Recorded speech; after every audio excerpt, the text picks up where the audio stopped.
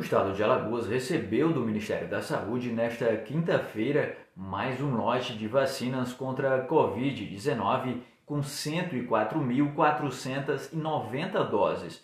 Foram 42 mil doses da Coronavac, 37.440 doses da vacina Pfizer e 25.050 doses do imunizante da Janssen.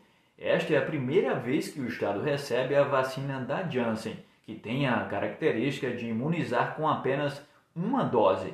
Com este novo lote, o governo garantiu a vacinação das pessoas sem comorbidade em Alagoas acima dos 44 anos de idade. Em Maceió, a prefeitura já iniciou a vacinação das pessoas com mais de 47 anos e deve ir chamando nos próximos dias as pessoas até os 44 anos. Até esta quinta-feira, o estado de Alagoas já havia aplicado 1.260.394 doses de imunizantes contra a Covid-19.